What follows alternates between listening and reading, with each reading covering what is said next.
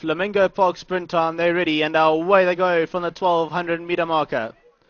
Looked a good beginning and opening night, the first one to go. That's the early leader, Comedy Caravan from that wide draw. Immediately got over from that wide draw and now gone off to the lead.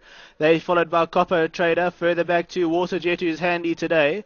Then towards the outside of these ones, we find Mr. Rawling. Nigella is also looking for a good position, and Jack Dan around the malls now gone up to race into second place. Then further back to Solomon's Temple as they race through the side of the course. Towards the outside of these ones, we find Copper Parade, Port of York, and Scrutinize.